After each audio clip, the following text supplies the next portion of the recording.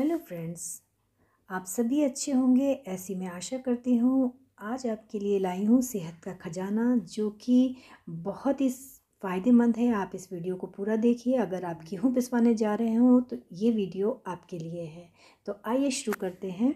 सभी अनाजों का अपना अपना एक अधिक, एक अलग ही महत्व है। अगर हम बात करते हैं गेहूँ की तो गेहूँ अच्छी मात्रा में फाइबर होता है और विटामिन बी और खनिज जैसे आयरन और मैग्नीशियम प्रदान करता है। जहाँ तक हम चावल की बात करते हैं तो चावल में एक अच्छा स्रोत होता है जो कि फाइबर, थायमिन और मैग्नीशियम और फास्फोरस होते हैं, जिससे कि हमको इससे ऊर्जा मिलती है। और स्वास्थ्य पाचन का जो कार्य है, वो भी ये बहुत आसानी से कर देता है, क्योंकि ये जो रेड कलर के जो चावल है, इसमें अधिक मात्रा में फाइबर होता है, जो कि पाचन तंत्र के लिए फ़ायदेमंद होता है। और हम बात करते हैं जौ की। तो जो हृदय स्वास्थ्य संबंधित होता है, जिसमें कि इसमें कुछ फाइबर्स होते हैं, जिस, जो कि घुलनशील होते हैं और जो एक अच्छा स्रोत माना जाता है। वज़न नियंत्रण में भी यह सहायक होता है फाइबर युक्त होने के कारण जब वज़न नियंत्रण में भी ये मददगार होता है। और मोती जैसे बाजरे की अगर हम बात करते हैं तो बाजरा भी एक मोटा अनाज में इसको गिना जाता है। इसमें भी आयरन, मैग्नीशियम और फास्फोरस होता है। जो कि खून की जो कमी को दूर करने में ये बहुत ज़्यादा मदद मिलती है इसमें। और फिर अगर हम मकई की बात करते हैं तो मकई में जो ये विटामिन सी होता है, जो कि इम्यूनिटी सिस्टम को मज़बूत बनाता है, ये फाइबर से भरपूर होता है। मकई का सेवन पेट के लिए फ़ायदेमंद होता है। तो आप ये भी देखिए अनाज में ही शामिल कीजिए इसको, क्योंकि जितने भी अनाज यहाँ पर मैंने रखे हैं, सब एक से बढ़कर एक ही।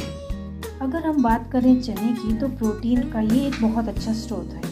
चने में अच्छी मात्रा में प्रोटीन होता है, जो कि मांसपेशियों का निर्माण और शरीर की मरम्मत करने में मदद करता है। फाइबर से ये भरपूर है जो कि पेट के स्वास्थ्य के लिए फ़ायदेमंद होता है और वज़न नियंत्रण करने में भी ये सहायक होता है। और आपको पता ही होगा कि इसमें आयरन भरपूर मात्रा में होता है जो कि खून की कमी को दूर करने में भी मदद करता है। तो इसको भी ज़रूर शामिल कीजिए। अब साथ ही साथ हम बात कर लेते हैं रागी की।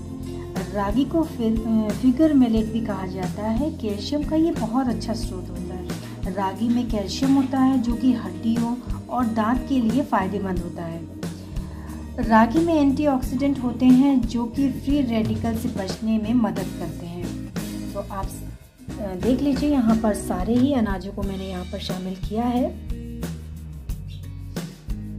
चलिए आइए अब हम बात कर लेते हैं अलसी की, जिसमें कि ओमेगा थ्री फैटी एसिड होता है और जो कि दिल के स्वास्थ्य को सुधारने में मदद करती है। और ये फाइबर से भरपूर होती है, जिससे कि पेट साफ़ रहता है और वज़न नियंत्रण में भी मदद करती है। एंटीऑक्सीडेंट अलसी में होते हैं, जो कि फ्री रेडिकल से लड़ते हैं और शरीर को जो नुकसान पहुँचाने वाले एंजाइम्स होते हैं, उसका, उसको भी है उससे भी बचाता है। तो कुल मिला के आप ये देख लीजिए, जितने भी यहाँ पर अनाज हैं, ये सभी हमारे लिए बहुत ही फ़ायदेमंद है। तो आप सभी जो अनाज हैं, उसका समावेश अपने भोजन में एक सेहतमंद और पोषक संपूर्ण भोजन का हिस्सा बन सकता है। तो आप इसको ज़रूर अपने भोजन का हिस्सा बनाइए। तो फिर मिलते हैं हम नेक्स्ट वीडियो में। थैंक्स फॉर वॉचिंग आशा करती हूँ आपको ये वीडियो ज़रूर पसंद आया होगा। आप कमेंट बॉक्स में भी पूछ सकते हैं, अगर आप कुछ पूछना चाहते हैं इस विषय में।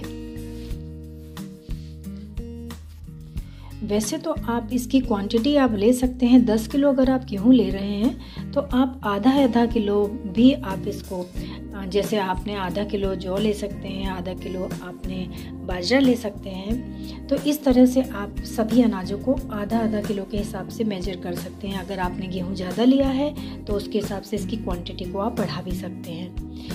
और आप ऐसा भी कर सकते हैं कि गेहूँ के अलावा भी इन जो मैंने आपको मोटे अनाजों के बारे में बताया है, इनको आप अलग सेपरेट भी इसको ग्राइंड करवा सकते हैं। दोनों ही ऑप्शन में आप इसको कर सकते हैं, जैसा भी आपको अच्छा लगता हो, आप उस तरह से आप इसको ग्राइंड करवा सकते हैं। इसको सेपरेट भी ग्राइंड करवा सकते हैं और गेहूँ के साथ भी करवा सकते हैं। लेकिन आप इसको ज़रूर शामिल कीजिए अपनी डाइट में।